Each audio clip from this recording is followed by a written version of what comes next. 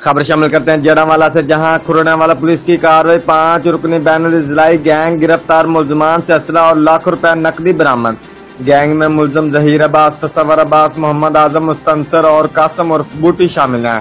ملزمان سے پانچ لاکھ روپے نقدی، آٹھ موبائل فون، چھ موٹر سائیکلوں سمیت اسلحہ برامد میڈیا نمائندگان سے پریس کانفرنس کرتے ہوئے ایس پی ناصر محمود کا کہنا تھا، اے ایس پی بلال سلہری نے گینگ ٹریس کرنے کے لیے ٹیم تشکیل دی تھی۔ S H O Waseem Aftab اور اے ایس آئی افضال نے انتھک محنت سے گینگ ٹریس آؤٹ کیا۔ انہوں نے کہا، ملزمان راہگیروں سے اسلحہ کے زور پر نقدی موبائل فونز اور موٹر سائیکل چھین کر فرار ہو جاتے تھے۔